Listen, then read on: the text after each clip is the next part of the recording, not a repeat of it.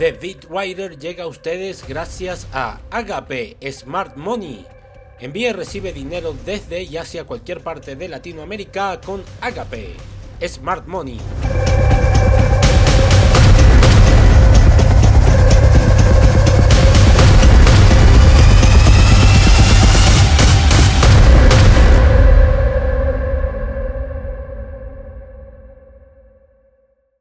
Falla en diosificar a estos jóvenes que firman el 15 de enero, donde ese joven con sueños se convierte en millonario, se convierte en el galán del barrio. Cuando tú crees que eres más que otro, lamentablemente tú piensas que nada te va a pasar.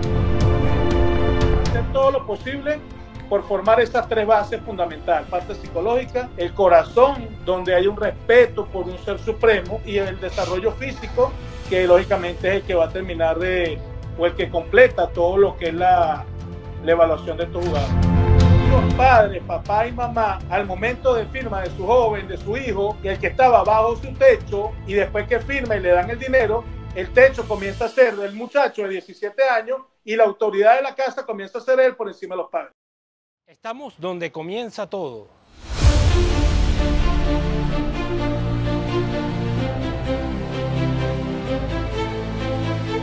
Saltar al béisbol profesional. ¿Es fácil? Fácil no. Independientemente de la bonificación que le den a esos muchachos, puede ser 100 dólares, puede ser un millón de dólares. Yo creo que al final lo que va a separarlo o el separador de ellos va a ser la, la pasión, su talento, cómo puedan ejecutar dentro del terreno.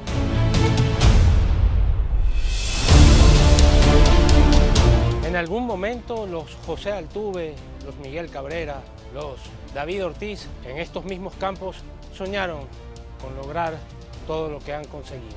Y ahora muchos jóvenes latinoamericanos buscan seguir sus pasos. ahora mismo es un proceso de verdad, 60, 100 turnos. Tienen que ver los scouts ahora mismo a los jugadores y poder darle un seguimiento a los jugadores para poder tomar una buena decisión a la hora de, de un cierre te presento Cazando Talento, el primer podcast completamente especializado en todo lo que tienes que saber si sueñas con firmar con una organización en las grandes ligas.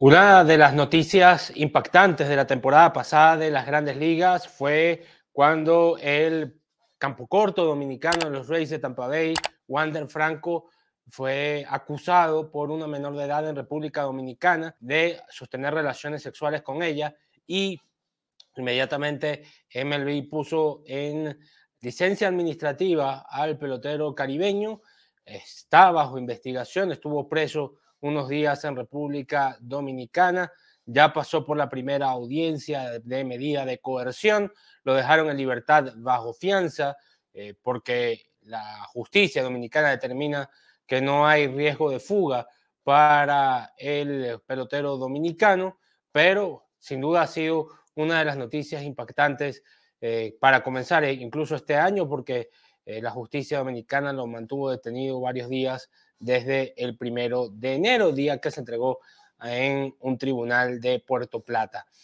Para hablar de este tema y el impacto de esto, eh, que esto debe tener como eh, para las academias de béisbol, ya ustedes saben que estamos dedicando este podcast a el proceso de firmas internacionales. Eh, vamos a hablar con un buen amigo que ya ha estado aquí varias veces en el canal de YouTube. Le damos la más cordial bienvenida a José Luis Montero, agente de Future Star eh, Academy. José Luis, un placer saludarte, feliz año y gracias por aceptar la invitación. Gracias a ti, Marco, gracias por la oportunidad de estar acá nuevamente. Deseándote un feliz año a ti y a, toda tu, a todo tu público, que sé que bastante gente que te sigue y, y aprovecha toda la información que dejas, que, que es bastante valiosa para el béisbol en general y para cada uno de los deportes que, que tiene la oportunidad de llevar pues, en tu programa. Gracias, José Luis. José Luis, cuando ves este tipo de noticias, tú eres padre, pero además, además de agente eres padre. ¿Qué sientes al respecto cuando ves este tipo de, de muchachos? Wander Franco tiene apenas 22 años, tenía un futuro asegurado, ya le habían dado garantizado ciento, más de 150 millones de dólares y podía extender su contrato a 220 millones de dólares. Ya tenía todo para, para garantizar su futuro, el de sus hijos. Eh, ¿qué, sientes tú como cuando ves una noticia así? Mira, es bastante triste. Déjeme que, que es cuando sentimos que realmente vale la pena las cosas que hacemos, eh, cuando sentimos que vale la pena hablar a tiempo, corregir a tiempo. Como tú dices, soy padre de una niña hermosa de 18 años, soy padre de dos niños, uno de 11 y 9 años, y al mismo tiempo soy padre de muchísimos otros niños que han llegado a mi academia, que han salido de mi academia y que hoy tengo la oportunidad de poder hablarles y poder guiarlos en un camino. Eh, en la vida, lamentablemente, Marco, está existe el libre albedrío, el libre albedrío que Dios nos da y que de una u otra forma cada una de las personas tenemos de tomar las decisiones correctas. Pero más allá de esas decisiones correctas en determinado momento, están las bases que podemos inculcar en cada joven para el momento en que la toma de decisiones será importante en sus vidas. ¿Ok? Eh, toma de decisiones que lamentablemente en el caso de Wander Franco un muchacho que tuve la oportunidad de conocer en el año 2016 en la República Dominicana, cuando realizamos un evento de IPL, eh, con un muchacho con un talento especial, un talento físico, que, que, en su medida a esa edad de 16 años, son muchachos que son, eh, tú lo ves de una manera humilde, de una manera quizás jocosa, quizás el dominicano un poco más que el mismo venezolano, pero que más allá de eso, cuando reciben esta cantidad de dinero, cuando ellos cambian un estilo de vida, cuando ellos van a, un mundo donde hay una sociedad que lamentablemente, y hay que decirlo de esta manera, está sumamente corrompida, comienzan a ser un target importante para muchas personas que quieren buscar un beneficio en ello. Y siempre, como en todos mis, mis videos, cada vez que tengo la oportunidad de hablar con los jóvenes, siempre se lo digo, oye muchachos, ustedes se convierten en jugadores profesionales a una edad muy temprana, una edad muy temprana que son los 16 años, 17 años, cuando aún son menores de edad. Lamentablemente, dentro de esa niñez, dentro de esa adolescencia, comienzan una relación de amorío, de noviazgo, con muchachas que pueden estar alrededor de los 13, 12, 14 años, cuando ya tú tienes 16 o 17. El día de mañana, cuando tú te conviertes en mayor de edad, estas son muchachas que siguen siendo menores. Entonces, no solamente en el caso específico de esto, hay casos específicos de, de jugadores con 20, con 22, 23 años que lamentablemente están cayendo en este tipo de situaciones y que no es más que la desinformación en cada uno de ellos. Desinformación no solamente en el hecho de que están cometiendo un delito, porque es un delito en los Estados Unidos, en la República Dominicana, en Venezuela, en cualquier país, el hecho de que un adulto, un mayor de edad, mantenga relaciones, no solamente sexuales, relaciones del mismo hecho eh, psicológicas, conversaciones, eh, WhatsApp, eh, cosas que queden escritas, y que el día de mañana esa mamá, ese papá, un abogado, una mafia, porque hay mafia organizada que están dentro de este propósito de buscar esos jóvenes que están de alguna manera eh, expuestos para truncar su carrera, para sacarles dinero.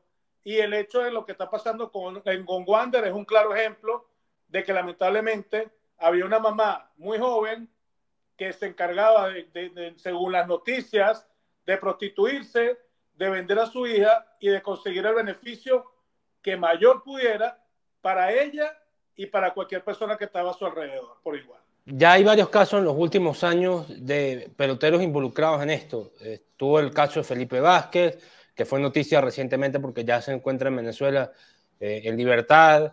Eh, Julio Urias, que, no fue un caso de, pedofilia, pero fue un caso de violencia doméstica. Todavía su caso está bajo investigación. La, fiscalía decidió no presentar cargos. Eh, cargos, digamos, criminales. Todavía falta si van a presentar cargos menores. Eh, ¿qué, qué, qué, enseñanza debe dejar esto para las academias, para ustedes que están en este mundo, desarrollar a estos jugadores, no solo a nivel, eh, a nivel físico, a nivel deportivo, sino también eh, como seres humanos, ¿no? Porque muchos de estos muchachos, y te lo pregunto porque muchos de estos muchachos vienen de, de, bajos recursos, de personas eh, que, que, son muy humildes, eh, que son de, de estratos bajos y, y, quizás no tienen ese acceso a la educación como, como pudieran tener, tener otros, ¿no? Mira, más allá, más allá de la misma educación está el tema familiar.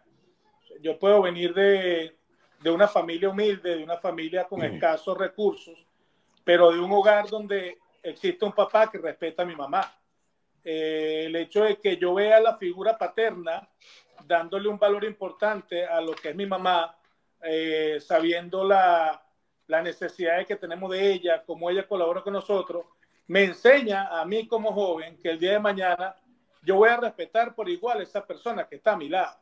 Hay jóvenes que pueden tener cualquier cantidad de beneficios, sea económicos sea sociales, pero que lamentablemente el día de mañana no tuvieron esa figura de padre que le daba a la mamá el mejor de los ejemplos o que le daba a él el mejor de los ejemplos a la hora de tratar a esa figura femenina y este muchacho va a estar expuesto a caer en cualquier tipo de situaciones. Como tú bien lo dices, bien nos encargamos a la academia de desarrollar un talento físico dentro de un terreno porque al final eso es lo que buscan los escados. El escado no va a venir a sentarse en una tribuna a hablar con un jugador para estudiar qué tipo de personalidad tiene, si es buen estudiante, ni mucho menos. Él quiere verlo bateando, quiere verlo fildeando, corriendo, cualquiera de las herramientas de béisbol.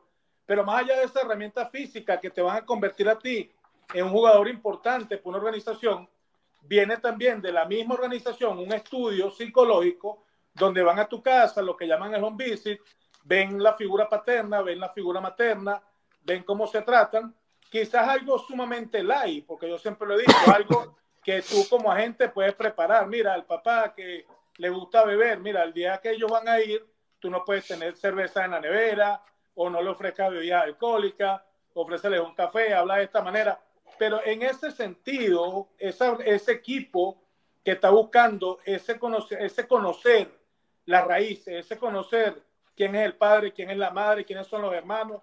Todo eso va a ser importante para ellos. Entonces, ¿qué queremos desarrollar? Un talento físico, porque es lo que vamos a vender. Pero más allá de ese talento físico, existe un talento espiritual, que es el que me lleva a mí a creer en algo eh, más allá, que es lo que debo respetar.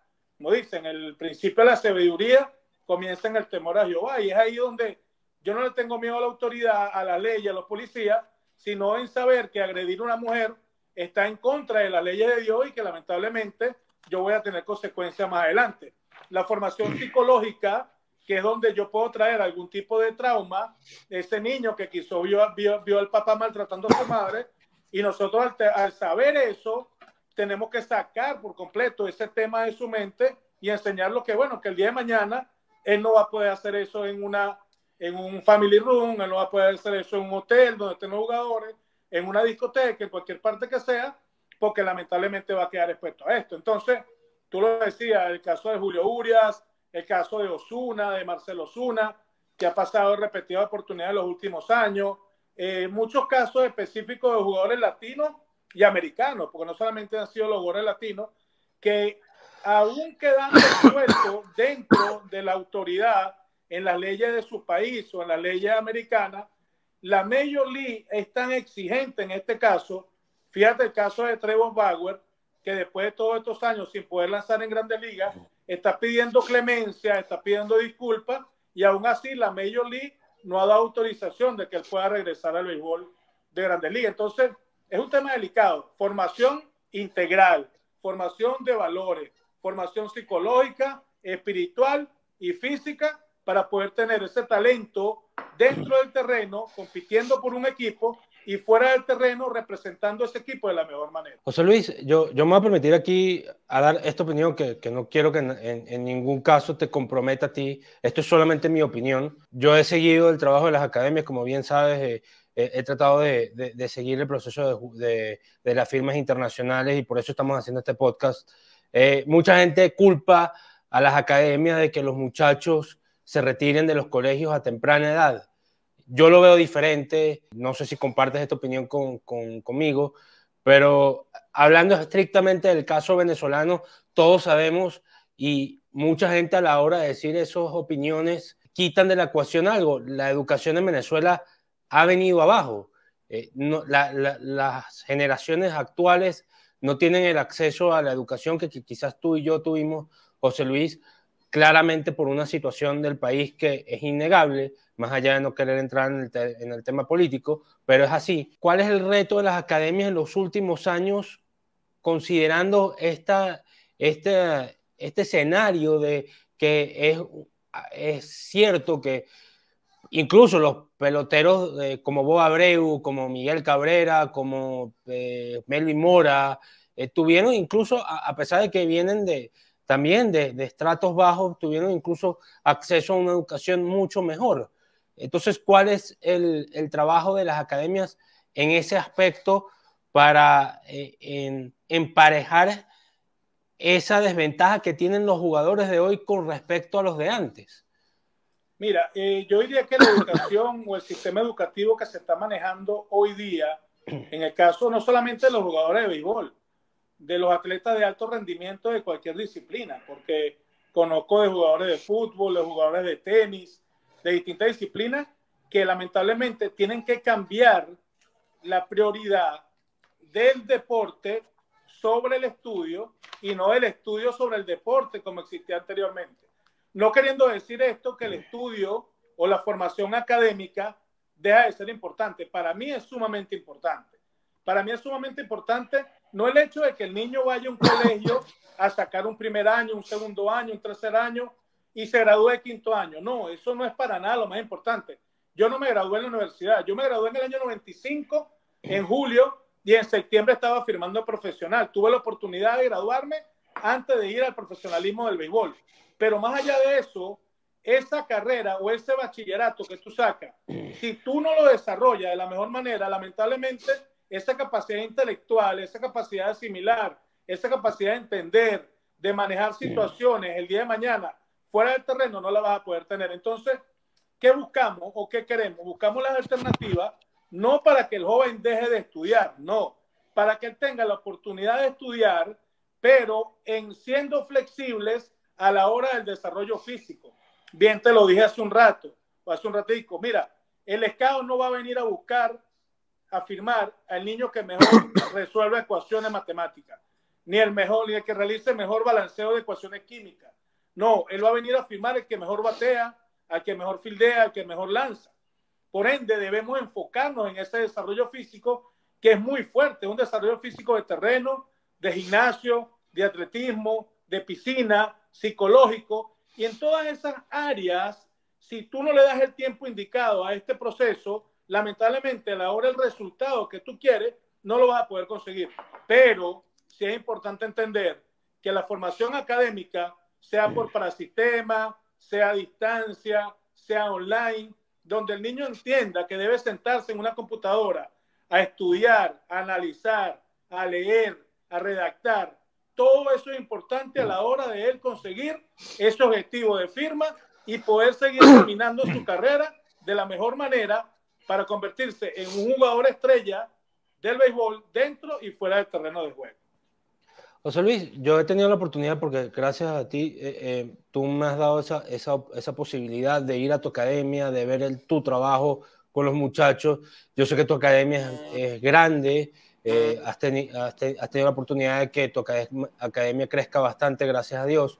Eh, y, te he tenido la oportunidad de que incluso tú le das charlas psicológicas a tus muchachos para, bueno, precisamente para orientarlos en todo este, este proceso.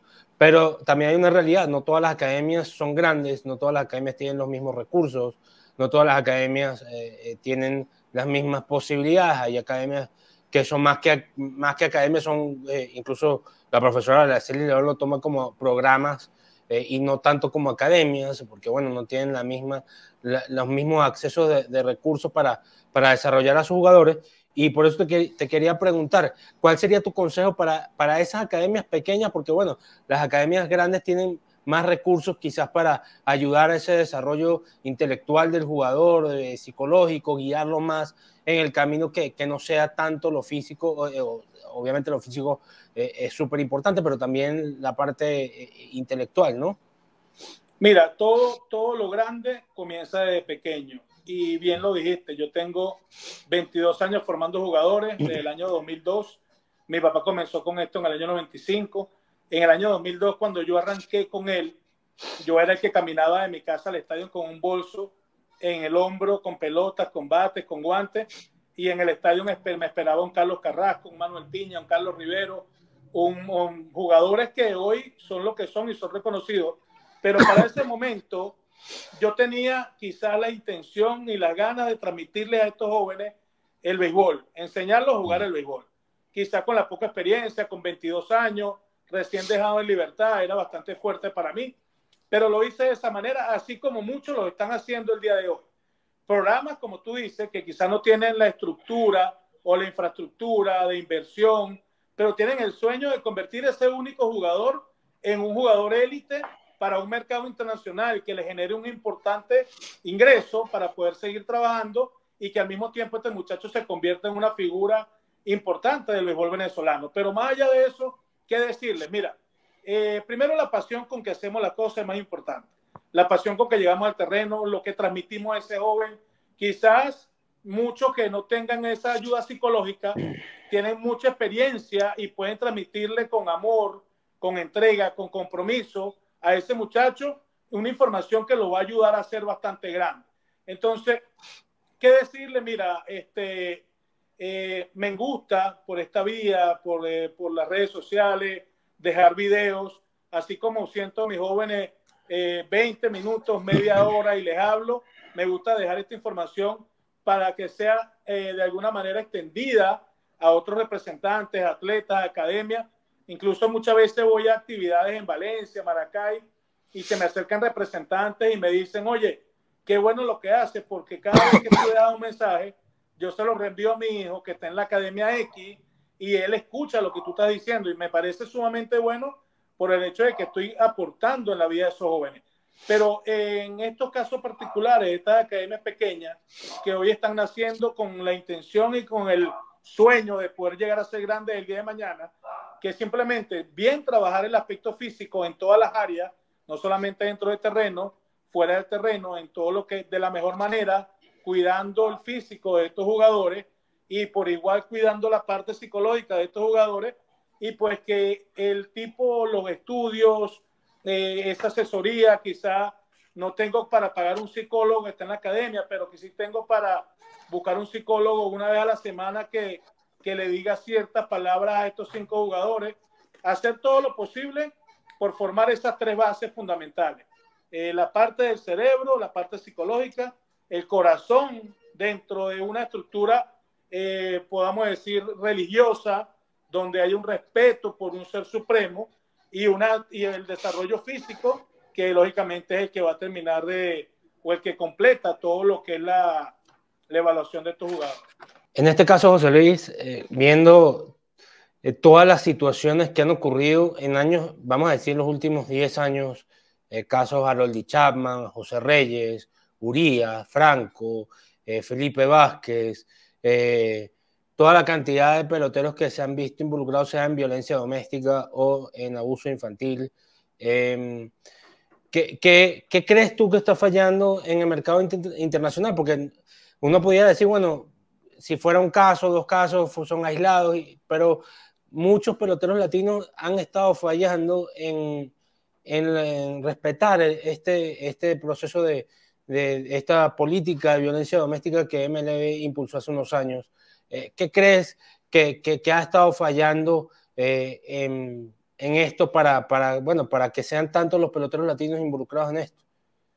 Mira, Marco, yo te digo muy honestamente, yo no veo la falla en el mercado internacional. Mm. Yo veo la falla en una sociedad en general. Yo veo la falla en diosificar o idolatrar a estos jóvenes que firman el 15 de enero, donde ese joven humilde, donde esa familia humilde, donde ese joven con sueños se convierte en millonario, se convierte en el galán del barrio, se convierte en una cantidad de cosas y cuando tú crees que eres más que otros, lamentablemente tú piensas que nada te va a pasar. Entonces, pasa en Venezuela, pasa en la República Dominicana, pasa en Latinoamérica, donde quizás todo se, se nubla o se acomoda con esto, con esto que está aquí. Pero lamentablemente, cuando esa cultura cambia, cuando tú como venezolano que crees que nunca te va a pasar nada, que tú eres el mejor de todo, que tú tienes a todo el mundo en tus manos, pero cuando tú vas a esa cultura americana, donde mientras más famoso eres, más les gusta la autoridad de derrumbarte, lamentablemente vas a quedar expuesto a eso, ¿entiendes? Entonces, no lo veo como un problema en el mercado latino, lo veo como un problema educativo. Eh, te digo algo, mira, yo jugué en el año 96 con Texas hasta el 2002 y en sprint training, todos los días de sprint training siempre había una charla de educacional. Eh, había una charla de, sobre el VIH, había una charla sobre el uso del tabaco, había una charla sobre el uso de esteroides y había una charla específica que era el tema de menores de edad. Y en esa charla hacían hasta una obra de teatro, no una obra de teatro, era como una, un simulacro, quise decir. Llegaba una, llegaba una, una patrulla, se bajaban dos policías esos tipos americanos, uno 95, dos metros, uno negro y uno catire, esos reiné que tú dices, mierda, son tipos que da miedo, y se bajaban los tipos y venían caminando y agarraban a alguien que estaba sentado, lo levantaban, lo esposaban y lo llevaban para la patrulla y lo tiraban en la patrulla y por ahí arrancaban. Y todo el mundo, y nosotros latinos recién llegados, veíamos eso y coño, ¿qué pasó aquí? Y cuando le preguntábamos después qué había pasado, era, no, él tuvo problemas porque anoche se acostó con una menor de edad y lo vinieron a buscar. Y ese impacto de ver eso que estaba pasando, a nosotros decía, mierda, una menor de edad, yo no, ni loco me voy con una menor de edad.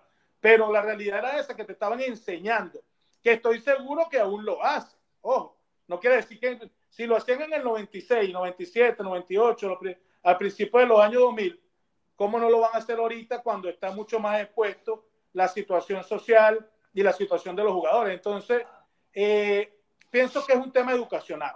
Es cómo educar a los jóvenes, es cómo asesorar a los jóvenes. Asesorar después de educar, porque yo no te puedo asesorar a ti si tú no estás educado, ¿entiendes? Entonces, darle esa educación, darle esa asesoría, darle esa atención no perder la autoridad, porque lamentablemente, hay que decirlo, muchos padres, papá y mamá, al momento de firma de su joven, de su hijo, y el que estaba bajo su techo, bajo su tutela, y después que firma y le dan el dinero, el techo comienza a ser del muchacho de 17 años y la autoridad de la casa comienza a ser él por encima de los padres. Y eso daña por completo el aspecto psicológico y creen ellos que pueden hacer lo que le da la gana y simplemente caen en este tipo de situaciones.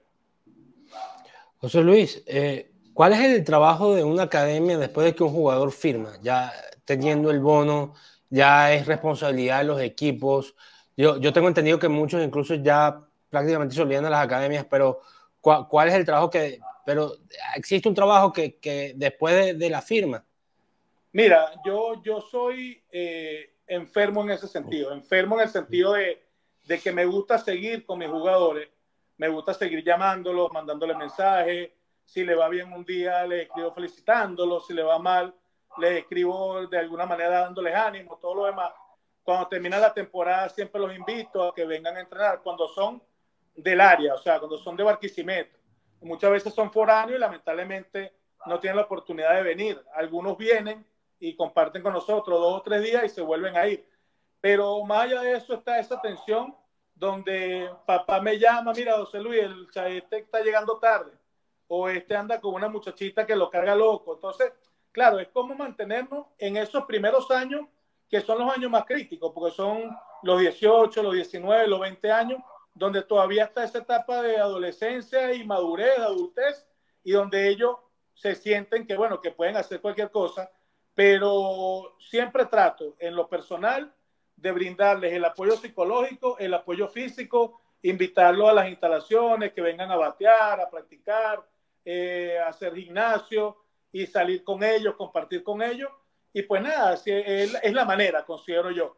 Muchas academias no lo hacen, muchos jugadores no te paran media de aquella, por no decir la palabra, y no te la paran, se van, no les gusta escuchar lo que no les no quieren que les diga, como yo siempre le digo, mira, yo prefiero decirte hoy lo que tú no quieres escuchar y ser tu enemigo, pero verte siendo exitoso mañana, que decirte hoy lo que tú quieres escuchar y ser tu amigo y verte siendo un fracasado mañana.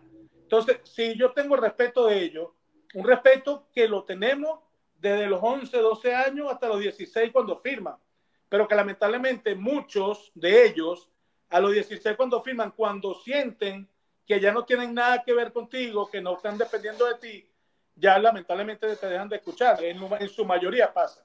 No te voy a decir que todo, porque tengo muchos jóvenes que vienen para acá, se sientan conmigo en la oficina, vienen a trabajar, le dan palabras a los peloteros y cosas que es importante y bonito porque tú sientes que sigues ese camino con ellos hasta el momento que, bueno, que la carrera se acabe, sea en grandes ligas, sea en ligas menores, pero siempre de la mano para que sientan el apoyo que podemos brindarle.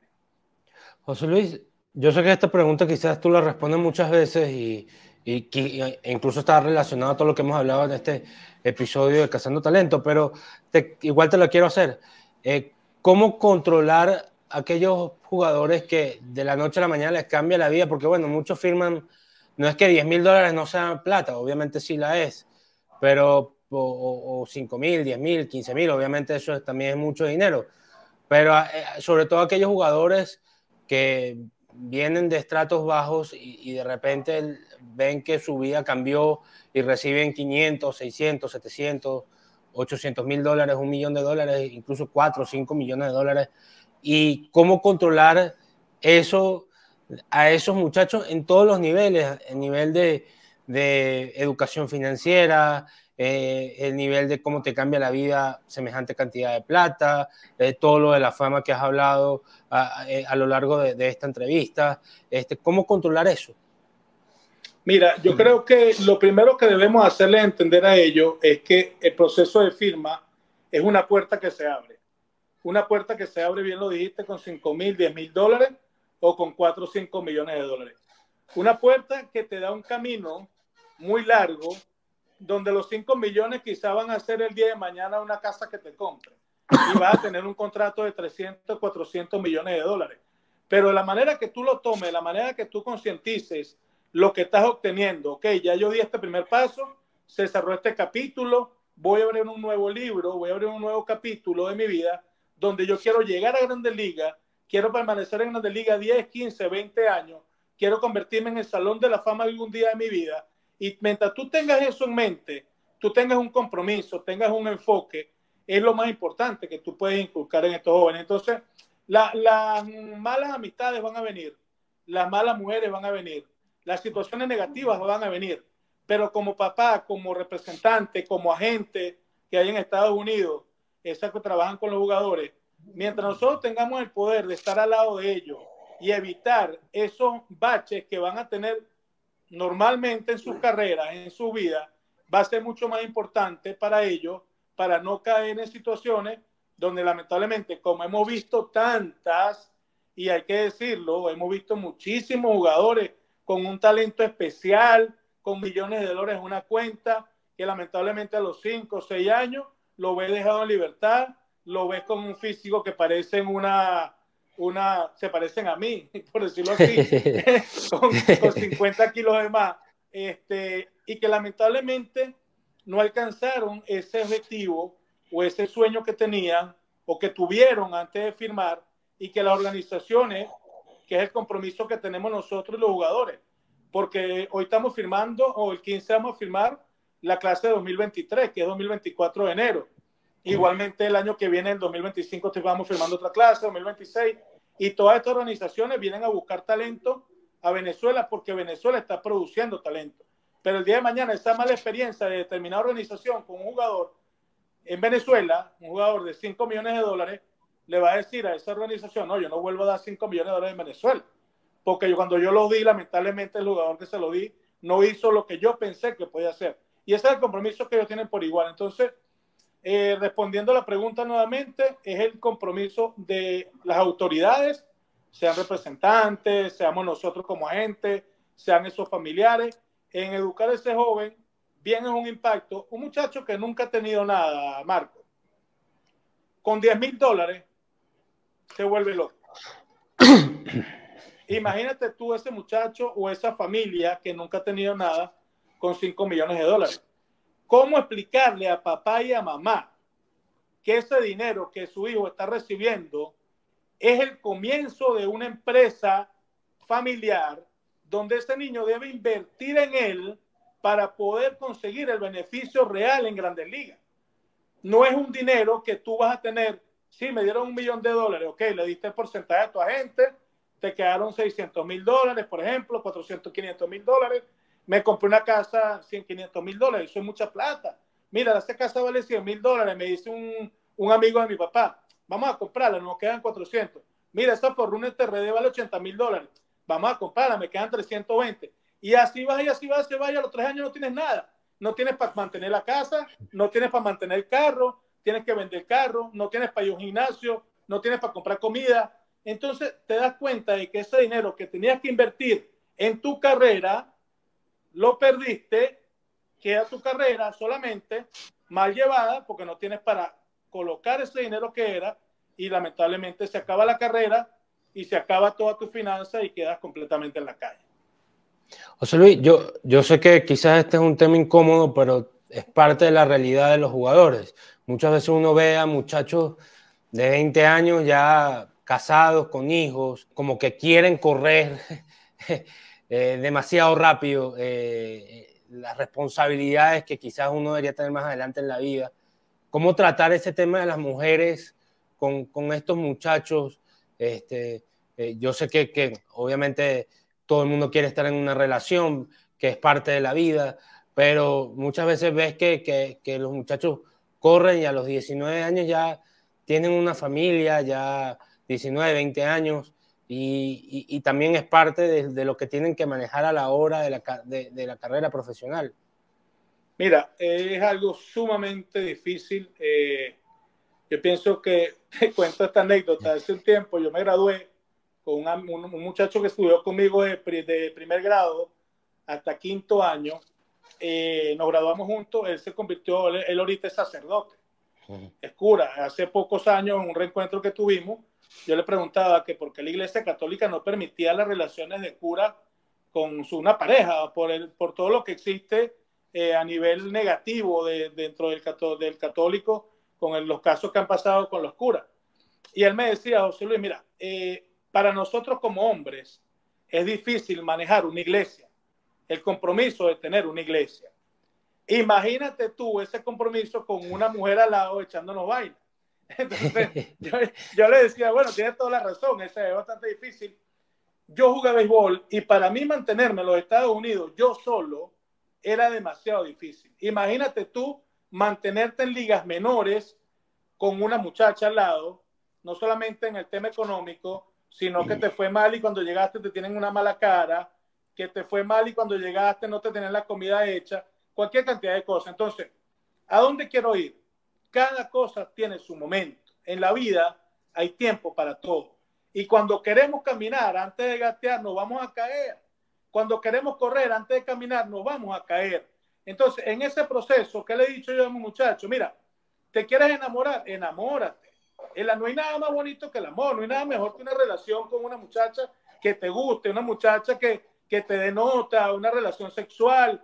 Todo eso es parte de la vida y va a ser parte de la vida siempre porque es un tema natural del ser humano.